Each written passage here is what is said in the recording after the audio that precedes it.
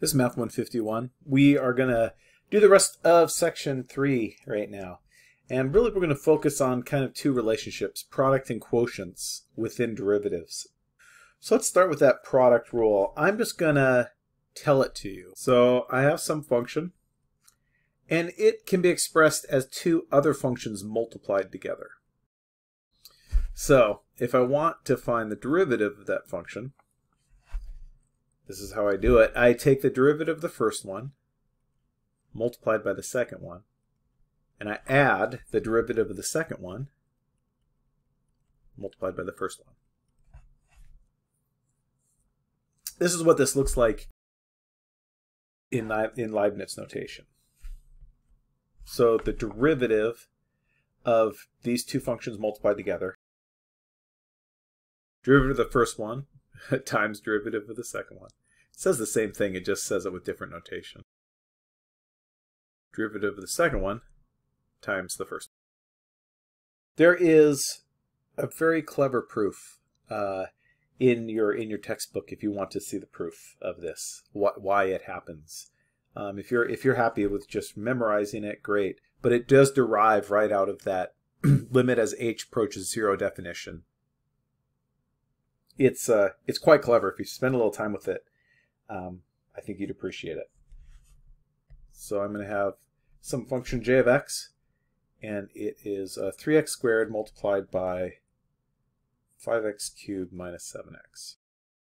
Now, notice what I have is two things multiplied together. I'm, I'm viewing this as my f of x, and I'm viewing this as my g of x right? Like something multiplied by something else. I could think of those as two different functions. If I wanted, I could distribute that 3x squared into there. And then I could just find the derivative of that. That, that would probably be an easier way to do this derivative. But I want to illustrate uh, how to use this relationship. I don't know if that's the same color or not, but I'm going to go with it. The derivative of this notice what it would be. It would be derivative of the first one. So I'm gonna I'm gonna write it out so you can see what, what I'm doing here. Derivative of the first one multiplied just by the second one untouched plus derivative of the second one multiplied by just the first one untouched. So notice I actually didn't find the derivatives. I just rewrote it like this.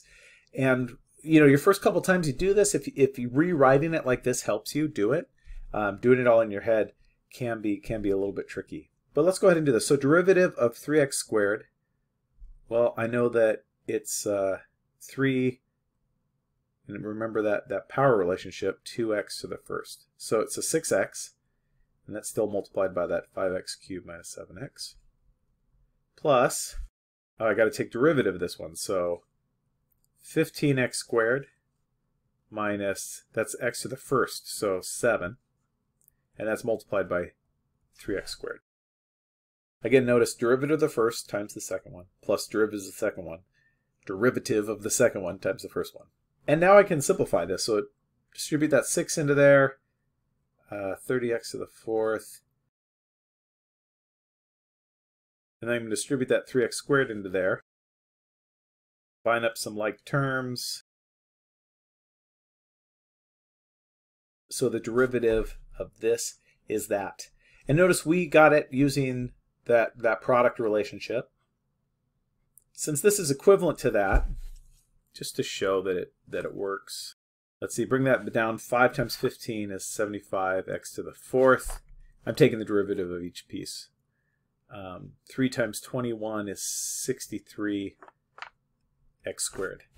Like, if you can multiply it out, um, and do it that way. This is this is much more efficient. But sometimes you sometimes uh, you can't. Or in this case, it's more efficient. It's not. It's not always. So let's get a, a quotient relationship. If I have some function that's built up out of two other functions with division, right? The quotient is division. So f of x divided by g of x. Derivative of that is and it starts out, uh, it, it feels a lot like the multiplication one, at least at first. Derivative of the first one times the second one. But then it's minus uh, not the second one, but the bottom one, the denominator, then it's minus derivative of the denominator times the numerator. And that's all over the denominator squared. Now, there's some very, very good reasons why this minus a negative and this is squared, and we'll get at it in this lecture. Um, you, you'll you'll see why when we we'll push it a little bit further. If I write this in Leibniz notation, the derivative of the numerator times the denominator minus the derivative derivative of the denominator times the numerator and again over that denominator squared. So let's do an example like that. So find the derivative of 3x squared over 5x plus 4. So notice it's a quotient. So let me, uh, let me go ahead and do this. Now, you don't need to necessarily write out the step, but sometimes, like I said before, when you're first learning something, it's not a bad idea to try and not keep everything in your head. So derivative of the numerator times the denominator.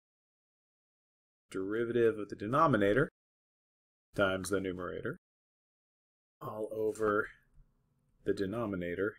That's an x in there, squared. So I haven't actually done any uh, derivatives yet. I've just I've just rewritten it, right, like in this form.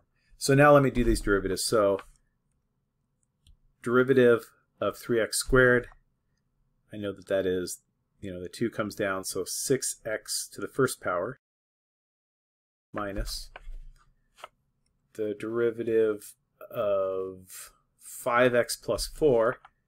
Well, the derivative of the constant is just 0. 5x is 5. And that's times 3x squared. And that's all over uh, 5x plus 4 squared. So let me keep going from here, combine up some like terms.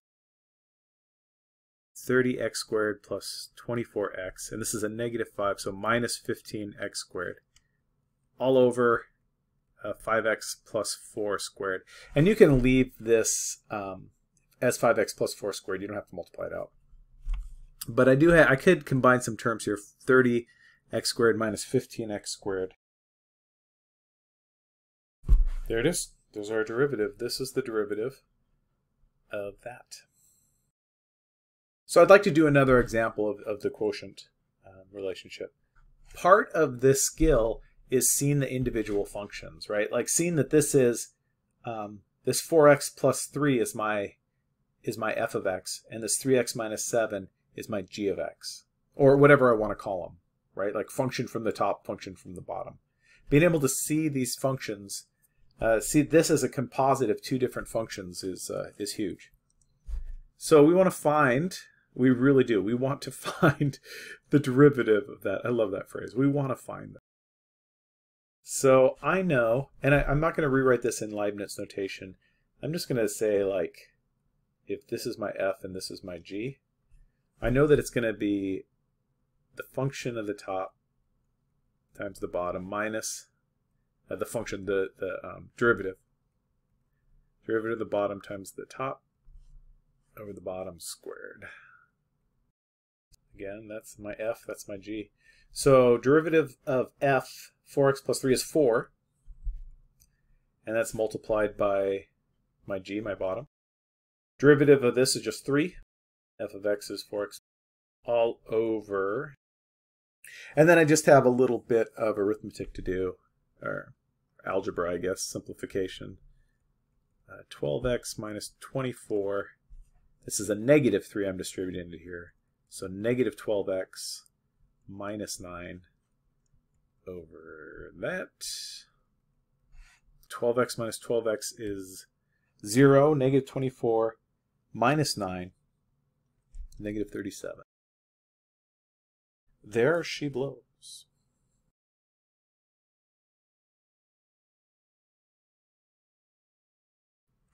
So I said I'm, I'd bring a little bit of clarity to this negative in this squaring right here. I want to bring back that power rule. Remember that power rule said if I take the derivative of uh, x to some power, of a, right? I'm taking the derivative of this. What's the change of this in relation to the change in x? We know that it's, sometimes we use an n instead of a k, sometimes we use a k. So um, this also applies to negative numbers, uh, to negative exponents. So for example, if I wanted to find the derivative of x to the negative fifth, it would be negative 5 times x, and then it's negative 5 minus 1 to the negative 6. And I think, uh, as you know, negative exponents like flip the fraction, right? It means divide by that instead of multiply by it. So this is equivalent to negative 5 over x to the 6th. So if I had something like f of x is 1 over, or 10 over x squared, in this case, since I don't have an x up here at all, like I don't have a, a variable up here at all, I could run it through the quotient, but derivative of 10 is going to be 0. That thing's going to drop out. So um, it doesn't really, I don't have to do it that way. So what I'm going to do is I'm going to rewrite this as 10 times x to the negative second power. So when I go to find the derivative of that, oops, sorry, the derivative of that, negative 20 times x to the k minus 1. Negative 2 minus 1 is negative 3. So it would be negative 20 over x to the third. Now, here's, uh, here's what I'm getting at. Notice that when we take the derivative of this x squared down here, it ends up being negative. That's why this is subtraction in this formula right here. It takes care of it. You don't have to keep track of that this was to a negative power. This, this is like you know, something to a negative power. It takes care of it here. You can just grab it. And notice that down here, g to the x to g x squared, this is increasing, right? Because we're, we're our, our change, our rate change is going on down here. So hopefully, I mean, that doesn't really justify it, but it's a little bit of hand waving um, as to why this is negative and this squares.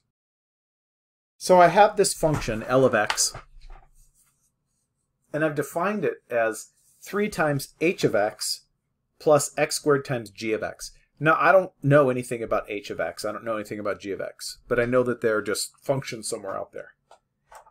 But even knowing that, I still want to take the derivative of L of x. I want to figure out what it would be.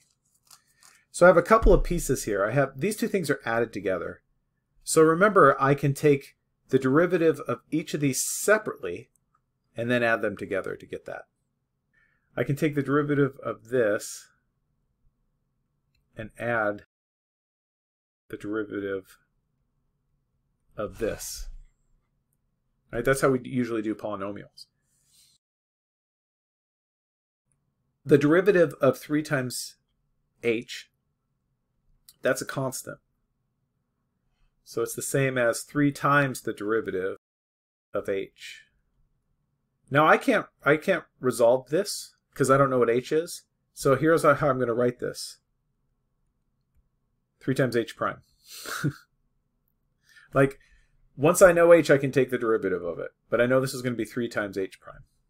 Plus, and now notice what I have here. x squared times gx. These two are two functions multiplied together. One of the functions is x squared, one of the functions is g, g of x.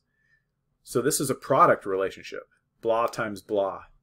So this is going to be derivative of the first one times the second one plus derivative of the second one times the first one. I'm going to write this as 3 times the derivative of h plus uh, 2x times g of x plus, in this order, I, I like to write this out front so it doesn't look like it's an input into that, x squared times the derivative of g. And that's as far as I can go. Now, if I knew h and g, I could, you know, take this derivative here, plug g in here, take this derivative here, and, and resolve it to something that's uh, more straightforward. But hopefully that shows how we can combine things like our additive properties and our product rule right? We have to identify the pieces in order to uh, to combine them. Do another one kind of like that. So here's my function. h of x is uh, 2x cubed k of x uh, over 3x plus 2. So notice I have another unresolved function in here, k of x. So when I take its derivative, I'm just going to call it k prime of x. And I don't have to do much work for it other than just label it as a derivative. So as I look at this, I see some pieces. I see 2x cubed times kx. So right here, these are two things multiplied together. But I also have a quotient. This whole thing is divided by that whole thing. So if I if I kind of look at this, I have quotient going on, and then I have a product going on inside that quotient. So I'm going to look to find the derivative of this. And first thing I'm going to do is take care of that quotient. So remember the quotient is derivative derivative of the numerator. So I'm going to have to take derivative of that whole thing times the denominator minus derivative of the denominator multiplied by the numerator unscathed all over the denominator squared. You know, I can start wherever I want, but I might as well start taking the derivative of this. I'm kind of turning the rest of the problem off in my mind, and I'm really focusing just on this right now. So I can tell that it's the derivative of a product. Derivative of the first one, 6x squared, right? That comes down, multiplies by the 2, reduces by 1. Uh, so derivative of the first one times the second one plus, and, and look up, I didn't mean to cross that out, and look up here for what I'm doing. Derivative, this is my f, and this is my g. Derivative of the first one times the second one plus derivative of the second one times the first one. That is that derivative. And that's still multiplied by 3x plus 2 minus and now I'm going to do this derivative. And fortunately, that one's pretty straightforward. Just 3, right? x to the first power, 1 comes down, becomes a 0. x to the 0 is 1. Derivative of constant is 0. So 3 times 2x cubed times kx. Again, that's all over 3x plus 2 squared. And now I am just like pushing symbols. So let me try and clean this up as best as I can. So I have this binomial multiplied by this binomial. So I'm going to distribute everything to everything. So 6x squared kx times 3x. 18 x to the third kx. Now I'm going to multiply it by the 2. So that is 12x squared kx. Plus, now this part is going to get multiplied by the, those. So uh, 2x cubed times 3x is 6x to the fourth. And that's multiplied by derivative of k. And then this now is going to get multiplied by that 2. So plus 4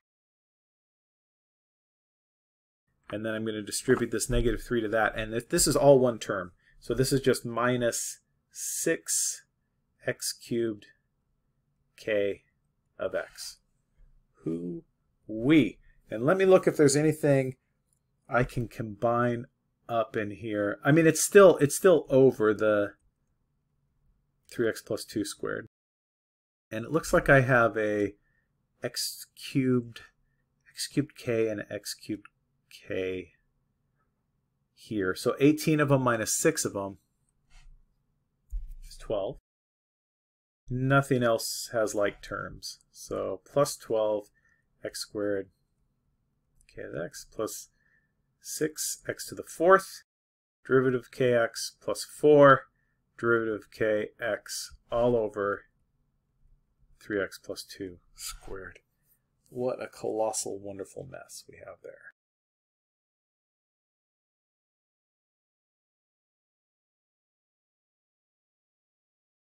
So the homework is not going to necessarily be as abstract as this. This will these will usually be things that you can actually like uh, find the derivative of. But I, I think this actually these types of problems are actually a little less work. I want to find the derivative of 3 times f of x minus 2 times g of x. So notice I don't I don't have to worry about product here. That's just a constant, so 3 times f of x. I don't have to worry about quotient, there's no division, there's just subtraction here. So you might not write this step out, but this uh, could be just the derivative of the pieces. And so the derivative of 3 times f of x is 3 times the derivative of x. The derivative the derivative of 2 times g of x is 2 times the derivative of g of x. We're done. So here's a question. Where does f of x, this function, have a horizontal tangent? tangent. Uh, horizontal tangent, horizontal like the horizon, flat, uh, or flat. So we know that the slope of that is zero. In other words, when is the derivative of this equal to zero? It's the same question as that. For what x values? Well, let's find that derivative. And this is just a polynomial, so we can just take derivative of the pieces. So x cubed, 3x squared, negative 7x squared, boom, negative 14 x to the first. We don't need to write the first part. Boom, plus 8, x to the 0 is 1, and the derivative of 1 is 0. So we have that. So when is that equal to 0? You know, when it has a horizontal tangent, it's changing direction. So it's either a, a minimum or it's a, or it's a maximum on the graph. Those are the times where we'll have a horizontal tangent. So let me see. I could factor this. I could run it through quadratic formula. But I can see minus 2 is negative 14. Yep. That equals 0. So what makes this 0? 4. What makes this 0? Add 2, divide by 3, 2 thirds. So those are the x values for when this has a horizontal tangent. Notice I know something about that graph. I know where its max and mins fall. I don't know if they're max or mins yet. I could figure it out, but I know where they are at, what the x values are for them.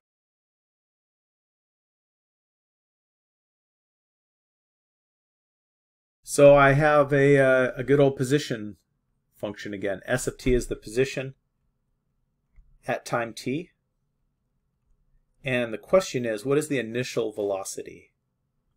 In other words, when t equals 0, what is the velocity at time 0? So to find the velocity, remember I'm going to have to find the first derivative of the position. Let's do that. So looking at this, I have a quotient. Uh, t divided by something in terms of t. So I'm going to use this quotient formula right here. And so I know that it is derivative of the top. Uh, derivative of t. t is t to the first power. So bring it down. 1 times t to the 0, it's 1. So 1 times just the denominator, right? That's my that's my g of x minus the derivative of the denominator. So 2t is uh, the derivative of t squared multiplied by the numerator all over this denominator squared. And I could clean this up a little bit. Uh, t squared plus 1 minus 2t squared, I'm just grabbing the numerator there, is uh, negative t squared plus 1 over, that's my velocity at times t. And what I want to know is the initial velocity, when it started, when the time is 0. So evaluate this for 0. So I plug a 0 into here. Uh, negative 0 squared plus 1 over 0 squared plus 1 squared is uh, 1 over 1 is 1. So it would be 1 uh, distance unit per time unit. Those weren't defined, so we don't know if it's miles per hour, feet per second, furlongs per month. We just don't know. All right. You've got product rule, you've got quotient rule from the last lecture, you have uh, some other relationships as well. This right here is our bread and butter for Calc 1. Like, this is the stuff to get really good at. Um, take your time with the practice. Take your time breaking down the functions into their pieces and ask a lot of questions. Um, if, if this is if this is rusty for you, the rest of the course is going to be pretty difficult. So I don't expect you to like have it all down right now but put the time in. It's worth the work. It's going to make the rest of the course, um, dare I say, enjoyable. Again, send me any questions you have. Post them in the forums. Take a look at those practice exercises as well.